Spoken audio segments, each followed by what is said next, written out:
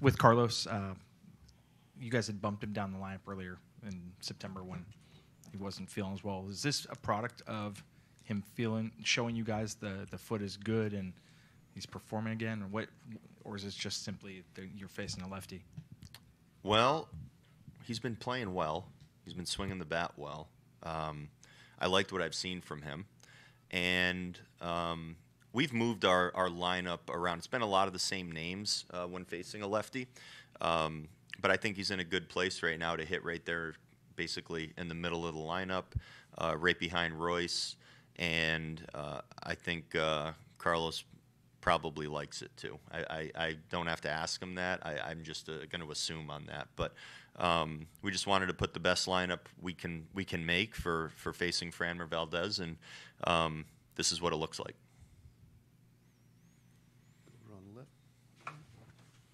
Goes Deke to get Abreu at second yesterday. Are you aware of like just those sorts of things that he has up his sleeve to break out in those moments? Carlos? Oh, I'm aware. Uh, he has all he has all of the the tricks. He has all the knowledge. Um, and it's one thing to think about these things when you're laying in bed at night uh, before you go to sleep. It's another thing to pull it off uh, in the middle of a playoff game when it counts. And we played three games so far in the playoffs, and he's pulled uh, he's pulled one off every game. So um, these are all each one of those is a special play in and of itself. And um, uh, but no, I'm not never surprised when I see uh, him do something like that. Never surprised. Go over on the right. Uh, Rocco, you have all the analytics and, and all the uh, scouting you've done, but when you get the eye test, do you change anything? Does that change any strategies or, or anything you do in the game? I mean, everything we do is based on the eye test. To be honest, um, we kind of we, we, need a place to start. You need a you need a place to start. So you kind of look at uh, you know a hundred different things, including all of your past experiences. Um, but once the game starts, I mean, there's never anything set in stone. Once a game starts, and um, I think everyone would would you know to one level or another probably say the same thing in their own job, whether you're the pitching coach or the hitting. Co- I mean, the the game is a it's a it's a kind of a it's it's always moving in front of you. So um, you have to be able to uh, react and, and think about all the different things, all the different scenarios that might play out in front of you. But uh, uh, I think it's uh, what makes the most sense for me, at least. What helps me make uh, what I think the best decisions are is. Um, you kind of you have to have a good firm kind of foundation of, of what you think about a game a situation a decision um, and then you see what happens in the game and you balance it all out. You make the best call. That's what you do. Go to Phil on the left.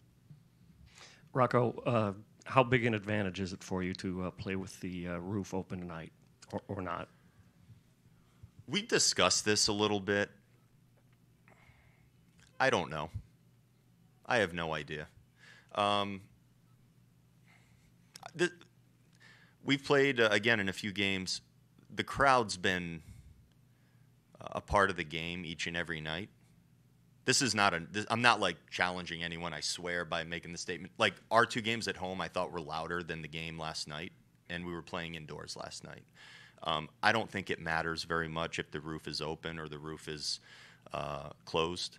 Um, uh, again, we're, we're all playing the same game here. Uh, nothing's going to really, I think, change and, and hand any sort of advantage one way or the other. Whether you're talking about the type of pitcher that's on the mound or uh, you know the crowd noise. I mean, there's a chance the crowd noise can certainly play into a game and into specific points of the game, but um, I'm not concerned of uh, about whether or not the dome will be open or, or closed.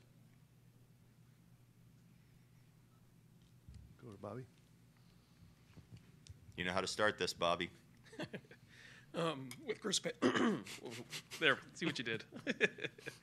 with uh, Chris Paddack, just his first postseason appearance as a reliever. Um, do you have to treat him any differently in terms of him warming up, and then in terms of him possibly pitching back-to-back games? Well,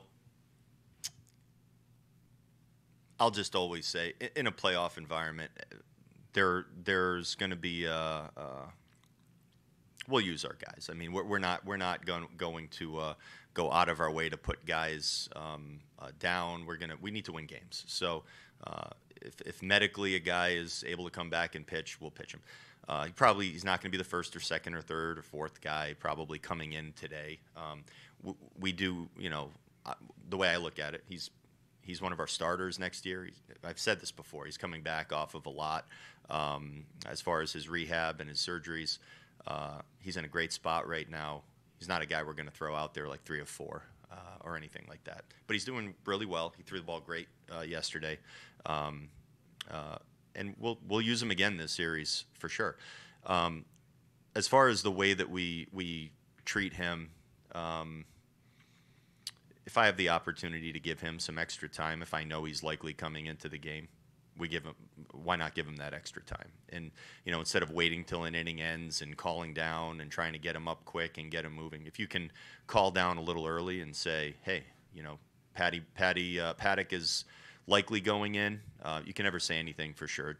Uh, situations can change, but um, you know, let's get him moving and uh, and get him hot. Then then you give him an inning and you know you get him three quarters of an inning basically instead of half of an inning uh, to get loose. So if we can do it, we do it. We kind of speculated about the possibility, but was Kenta ever uh, a serious option for you guys to uh, start yesterday? And now that you've used him, is, does that kind of uh, eliminate the possibility that he would start in this round? Well, uh, Ober and Kenta and Joe were, were all serious discussions and considerations um, to start, but you know, also come out of the pen and also potentially pitch uh, uh, in Game Four. Um, so yeah, and th- all of them were were thoroughly discussed. Um, I also think, you know, moving to the second part of your question, uh, the guys that pitched yesterday early in the game, they they pitched and they pitched more than an inning, but they didn't pitch so much that they're they're not going to be available for a while. So we, we kept them in play. So I would say Ober and Kenta are both going to be in play once we get back home, um, and we could use them again if we if we choose. Anything else for Rocco? Thanks for coming in, Rocco. Thanks, guys.